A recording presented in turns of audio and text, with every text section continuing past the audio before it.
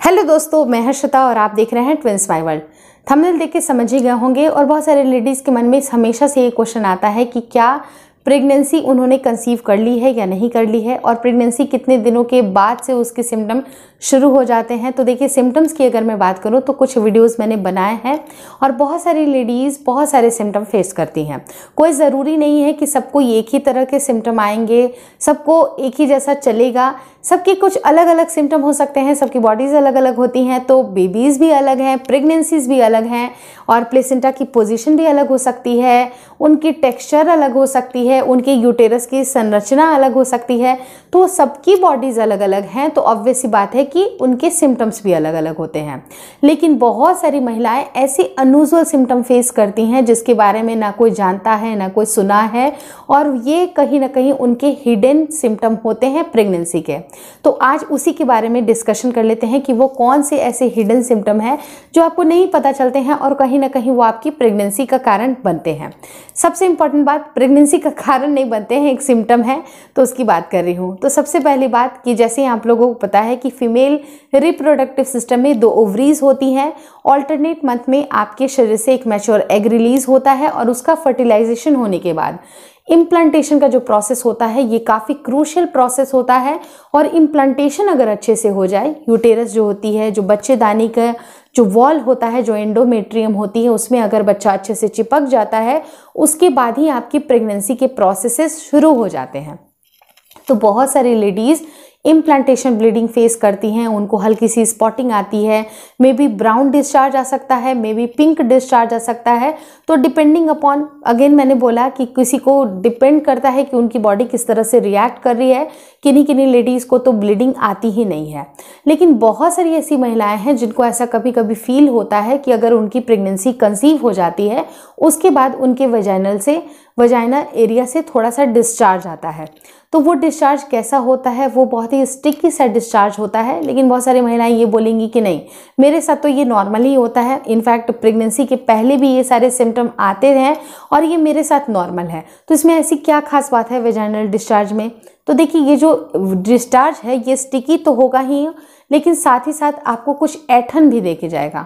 मतलब अगर आपका डिस्चार्ज हो रहा है और पेट में, या तो लेफ़्ट साइड में, या राइट साइड में, या नाभि के नीचे, अगर आपको हल्की हल्की सी ऐंठन महसूस होती है, अगर आपको लगता है कि नहीं, कहीं थोड़ा सा क्रैम्प जैसा फील हुआ, थोड़ा पेट, थोड़ा सा आपका ऐंठ रहा है, अगर इस तरह के सिम्टम आपके साथ इंक्लूडेड है, और साथ ही साथ आप महसूस भी करिएगा कि फ्रीक्वेंट यूरिनेशन भी हो रही है तो ये कहीं ना कहीं आपकी प्रेगनेंसी कंसीव होने के सिम्टम है।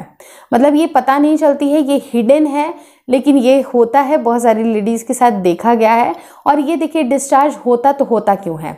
एज सुन एज जैसे ही आपका जो बेबी है, जो अंडा है, वो फर्टिलाइज हो गया, उसके बाद वो नन्हा सा जैगॉट आपके यूटेरस की वॉल पे जब चिपकता है, उसके बाद उसकी नौ महीने की जर्नी कंप्लीट होती है। वहाँ से ही उसकी जो जर्नी है, वहाँ से शुरू हो जाती है।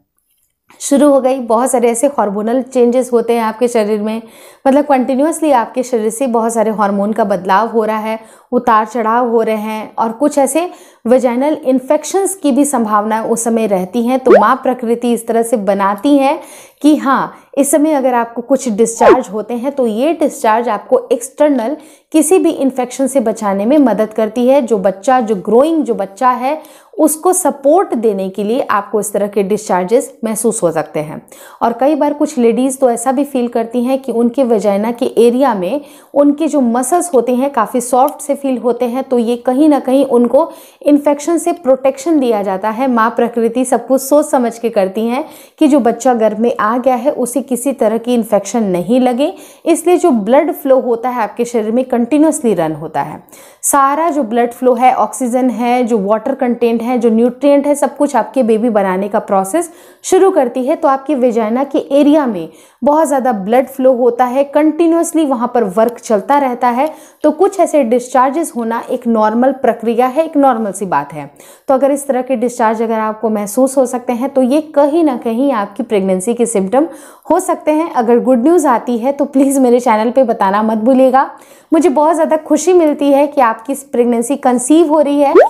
और बहुत सारी लेडीज़ जो काफ़ी दिनों से कोशिश कर रही हैं कंसीव नहीं कर पा रही हैं, उनको प्लीज़ मेरा चैनल एक अच्छी नीयत के साथ ज़रूर फॉरवर्ड कर दिया करिए, ज़रूर शेयर कर दिया करिए, क्योंकि मेरे चैनल पे एक प्लेलिस्ट है। जिसका नाम है journey to parenthood trying to conceive तो वहाँ पर बहुत सारे वीडियोस मैंने बनाए हैं, बहुत सारे टिप्स एंड ट्रिक्स के ऊपर बातें की हैं कि आप कुछ ऐसे टिप्स एंड ट्रिक्स का इस्तेमाल करके भी बेबी कंसीव कर सकते हैं। अपने लाइफ स्टाइल में भी आप परिवर्तन करके बेबी कंसीव कर सकते हैं। कब आपको डॉक्टर से मिलना चाहिए, कब उनसे कौन सी बातें करनी चाहिए सब के बारे में कंप्लीट एक गाइडेंस दी हुई है तो प्लीज़ मेरे चैनल को शेयर करना मत भूलिएगा। अगर चैनल शेयर नहीं कर सकते हैं तो उस प्लेलिस्ट को शेयर कर दीजिए, जो भी आपकी मर्ज़ी हो। ज़रूर करिएगा, क्योंकि ये बहुत ही इंपॉर्टेंट है उन लोगों के लिए, क्योंकि जो कहीं ना कहीं अगर देखिए, उनको बेबी अगर नहीं होता है तो कितना हमें अच्छा नहीं लगता है। उनके दर्द में दर्द महसूस करना सीखिए, उनके खुशी में खुशी होना सीखिए। तो जितनी भी लेडीज़ ने आज प्रेगनेंसी कंसीव की है, उनको बहुत सारी बधाइयाँ। चैनल पे लिखना मत भूला करिए, मुझे बहुत ज़्यादा खुशी महसूस होती है जिनकी भी प्रेगनेंसी कंसीव होती है। मैं दिल से यही दुआ करती हूँ कि जिनकी प्रेगनेंसी कंसीव हो गई है, अच्छे से राज़ी खुशी नौ महीना निकल जाए और जिनकी कंसीव होने वाली है, जल्द से जल्द हो जाए। मतलब एक महीने, दो महीने के अंदर हो जाए, बस उससे ज़्यादा कुछ नहीं चाहिए। Thank you so much for watching this video thank you so much